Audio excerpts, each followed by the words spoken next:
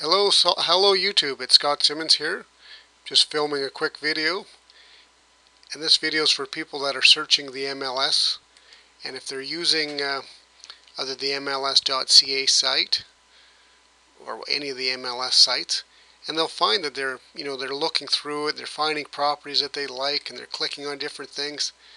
And then all of a sudden, one day they go, well, I'm going to head out to Salt Spring and we're going to find that house. And they get here or just before the day they get here, they realize that that house has just disappeared off of the MLS. And they're like, well, what happened to it? Did it sell? How much did it sell for? And to really help yourself when you're shopping for a home, you should sign up for the PCS system. What the PCS system is, if you go up, just scroll down a little bit on my website, there's another link here, PCS, Private Client Services. And what this is is an advanced system that will help you search. So you put your first name in there. Now I don't keep these emails. I don't track them. I don't send people back emails for the rest of their lives. And you put in your email address in there and you click submit. And then what happens is you'll get an email that'll look like this. And then you act then you hit access your email. Then you set up your criteria for what you want and you hit submit again. And the thing is, I have to get an email and then I have to log you in because it used to be automatic. It's not automatic anymore. So that's why I constantly check my email and I'll try to get you logged in right away.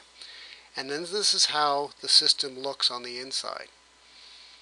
And what it is is each one of the listings See, as you look at the listings in here, if it sells, like this one sold, 268 Robinson Road, if you click on it, you can actually get a lot more information about the house. You can get uh, uh, you can get the sold information, when the house sold, how much it sold for, and it really helps you out when you're buying. I mean, you want to know this right here, the 539, that's what's important. Original asking price 629. Current market price was 569. So they offered $30,000 less than the current asking price. But look how it had dropped, almost nine, well $90,000 off the original asking price. This information that you can get on private client services is critical when you're buying. So I highly recommend signing up to private client services and really enhancing your uh, shopping experience when you're looking for homes on Salt Spring Island. It'll also show you when a listing goes OM. That means it's off the market. So a lot of these come off the market. See, look at the dates, November 20th, November 2nd, uh, January 14th.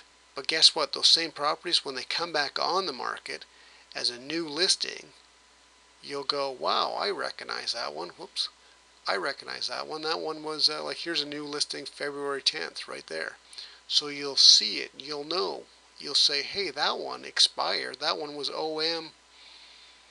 You're just a more educated shopper. You're going to get a better purchase price because you'll have more information at your disposal.